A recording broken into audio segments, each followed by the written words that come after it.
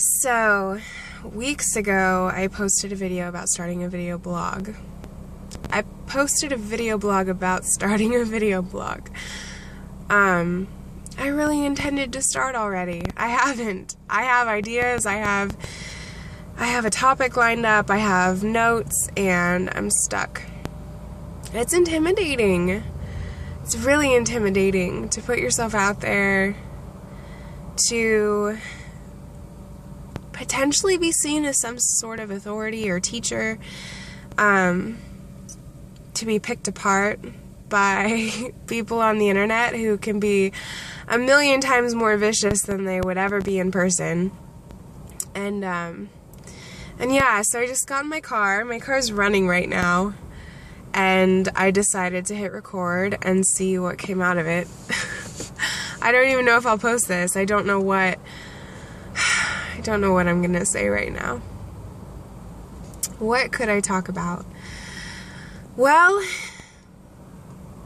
I just did a piece for 10 for Word, a piece as in a blog post, uh, 1500 word diatribe on the topic of abolition, abolishing abortion, and um, why why it makes no sense to me that any professed Christian could say that it's not their calling to join the fight against abortion, that it's a specific calling designated to one bold and courageous person.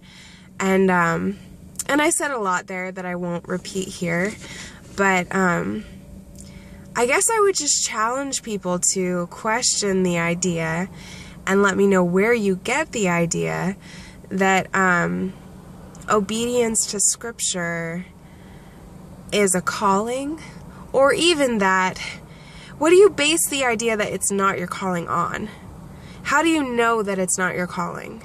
Because I have a feeling that for most people, when they say it's not my calling, they're basing it on their fear and their anxiety um, when they think about the prospect of going out to a clinic or standing on the street and talking to someone or bringing the topic up in a conversation with a friend or a family member that they know is pro abortion or speaking out um, more consistently on Facebook. Um, I have a feeling that there's a lot of fear behind it and a lot of um, I'm just not gifted in that way. And I think it's the false assumption that the people that are active in those things aren't nervous about it. Um, the people that are active in those things that go out to the abortion clinics that they just get kicks out of it and it's um, it's not a gut gut wrenching thing for them. Um, I can say for myself every time I've gone out to a clinic, I'm absolutely terrified.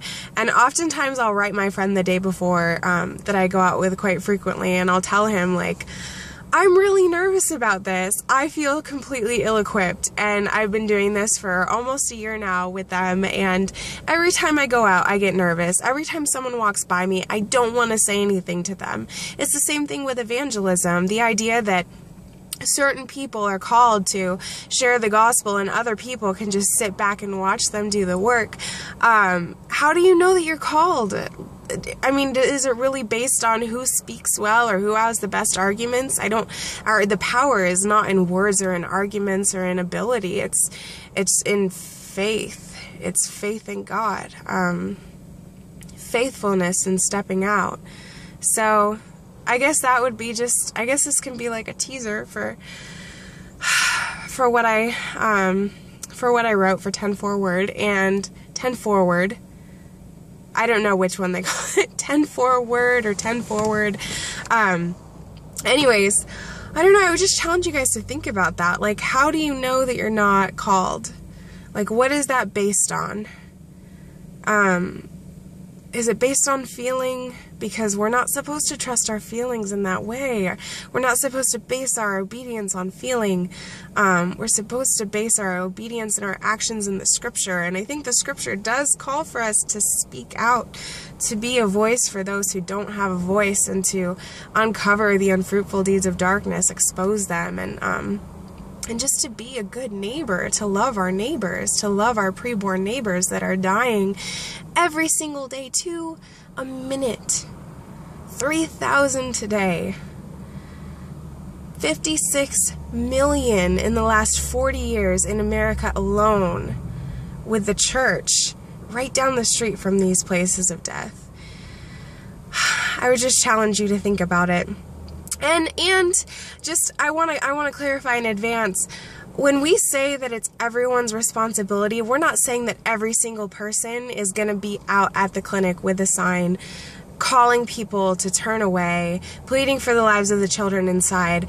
We would like to see a lot more people out there, but we're just saying use your gifts and your talents and your voice and your means to do something about it. Not to just disagree with it, but to do something, to speak out, to use your voice. Um, to stand against it, to put yourself out there, to take a risk we have to do more than disagree with it silently or just talk about it or think about it um, amongst ourselves. There has to be more to it because we're losing. We're losing. This isn't stopping, and even the pro-choice movement is is willing to compromise, is willing to allow this to continue to be legal in certain instances. And it's always murder. It doesn't matter what the reason is or what the circumstance is.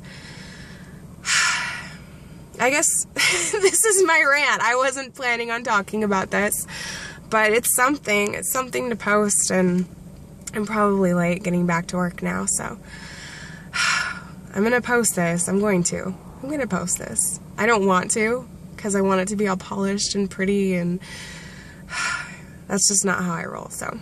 Alright, bye.